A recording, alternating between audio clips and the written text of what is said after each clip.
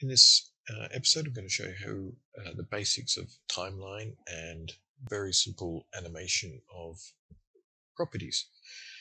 Uh, properties are how you move things, how you make them walk, and so forth. Uh, to make it walk, it's actually going to animate you know, potentially hundreds of joints and fingers and so forth, all at the same time, uh, which we'll get into later on. We're just going to start with some very simple animation here. So to actually um, do um, for creating videos, what I'm going to be using is the Cinemachine package from Unity. And Cinemachine has got this concept called a timeline. And so there's a timeline window or a timeline panel you can open up. So to create a timeline, we're going to create a object in our scene. In a complex scene, I may actually have multiple timelines because um, I want to reuse the scene for different um, situations the characters are there. But I'm just going to create a simple one here at the moment. And then if I come down and look at the timeline panel, it's sort of saying, oh, you want a new timeline? And you basically just click, click, click uh, create, and it'll offer to create the file for you.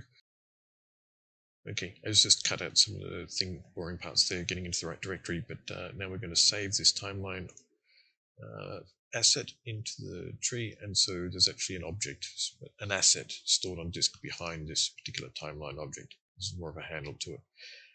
Now, if we want to animate uh, Unity Chan, we basically drag her into the scene and then pick an animation track. This now is um, has got the ability to start recording properties of um, uh, Unity Chan. Now, if you click the red button, it turns on recording. And what I'm going to actually do is at, it's now turned red and it's going to remember first position. So I'm going to move, oops, that was a timeline. I'm going to select Unity Chan and move her off in the distance. And then I'm going to go forward in time and I'm just going to bring her forward. And you'll notice these two points. And what it's done is it's remembered, it's updated the transform position of the Unity Chan character. The red's showing it's remembering these and recording them. And then I'm going to turn off recording. And so now, if I slide between the two, it moves Unity between the two time points. Now, that's all well and nice, of course, but she's not moving. Um, and so uh, this is the basic principle of animation. But if I double click just to show a little bit more, it's recorded the position and rotation properties of Unity Chan, and that's all. Um, to record an animation of the full character going through a walk motion, it's got all of the joints and bones of the um, Unity avatar character. And so that's, there's, it could be like a hundred of them. Actually, I think there might be 52 to be precise. And so there's going to be lots here. Now, rather than having to repeat that every single time, it's got the concept of animation clips. And so what I'm going to do is come back to this timeline and I'm going to discard this one and start again. I'm going to drag Unity Chan down and create an animation track. And I'm going to this time do a search for a walk behavior. Now, um, if you click over here, you can actually limit it by to animation clips Um, look through and find something like walk, walk forward. I'm just going to expand this a little bit more. So this one, I've got two walk forwards, and I'm going to talk about the two of these in a moment because this is one of the interesting things about um, Unity. Before I get too far into this one, this is a walk forward animation clip, and you may have noticed Unity, uh, Unity Chan's just disappeared. Where'd you go? Well, if you want to find a character, what you can do is single click in here, and ah, this is another interesting one. If you click on the timeline, you might notice that as soon as I click away onto another object, it loses track of it. And this is one of those little gotchas up here. There's this lock symbol here, and what you can do is click it to lock it. And so now if I click away, it won't, uh, the timeline won't, uh, won't lose focus. because it's part of the problem, uh, which we're going to see in a moment. So if we click on Unity Chan and hold the cursor over the scene and type letter F, it uh, centers or focuses or finds, I don't know really what it means, and Unity Chan has jumped over to 0000. Now this light blue means that these properties are being controlled by animation. This animated com component is necessary to actually control the other components in here. Well, that's a bit of a problem because it's zero. And if I position the cursor through here, you can see the animation clip is working. And that's all well and cool. And I can double click on it and well, I was just trying to open it up here just to give you a little bit of a feel of all the different properties that this thing has, the animation clip has got, just to show how many there are in there. You can see the animation clip moving the character, but the character is not actually moving forward. Well, there's this concept of root motion, and some animation clips will actually move the character forward, and other ones won't. So this one does move the character forward. And this just seems to be a mix between the two. We're going to come back to this one in a moment. But the problem with this is there's two solutions to this that I've seen. Um, one is what you can do, and is what I started out doing, and I no longer do. But what I started out doing was to actually create a new object. Oops. And I'd call it something like Unity Chan container and I drop Unity Chan on the inside. Now by dropping it on top, it gets nested. And what Unity Chan is now is relative to the container.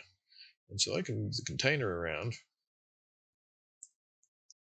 And so we've got Unity in this container.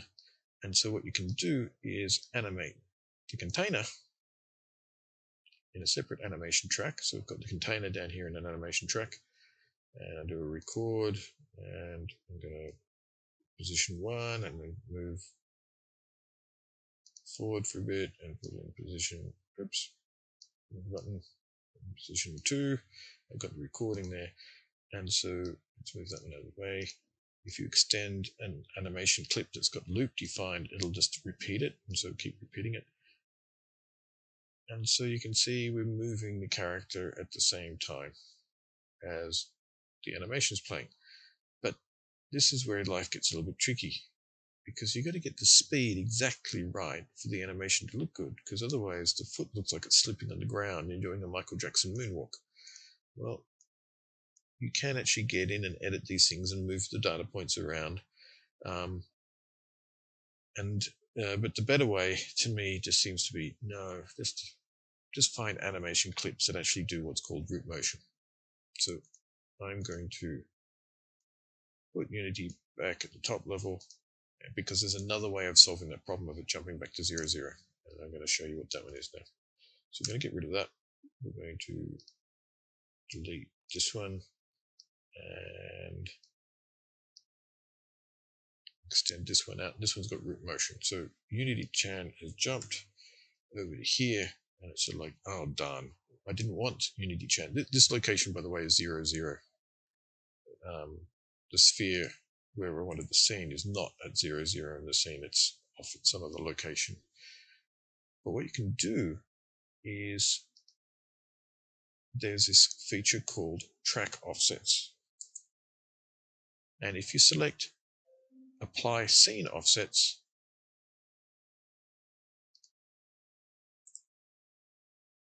it actually does the animation relative to where the character is in the scene, which is exactly what you want. So now the character is working correctly, the the, uh, the movement, the, the distance, and the feet are all sort of hitting the ground nicely, and everything is nicely in sync, which is really what you want. So I like using root motion in the animation clips. Um, there's some settings, we might get to that another time. And you just have to remember to set the apply scene offset on the animation track so the character starts at the right position. Now, if I want the character to move at a different speed, there's a speed multiplier value here. And so if I want them walking at faster than normal, I might specify a value of 1.5. and they walk faster. Get the little play button here so you can actually see what it really looks like. Um, a value of three. Hit the play button. You notice it's going even faster. And so um, you can work out where they're going to end up at what time point, and, and you, you might fiddle around with the speed multiplier, you might speed around the, uh, fiddle around with where they start from and so forth. But uh, this seems to be a better way of controlling where the character is going to end up because the feet always going to line up exactly on the right ground. Um, and you fiddle with the speed multiplier of the clip to adjust the speed the character is walking to get from one place to another. Um, and you've got all sorts of other capabilities in here, but I'm not going to get into all of that. So this was just to give a very quick introduction. Um, you have a timeline, you drop characters into the timeline to create a, a track, and on this track, you can then drop animation clips, and it's better to get one with a root motion um, included um, and you then, for walk animations, you can particularly can extend it out to loop. And that's how you get the character walking.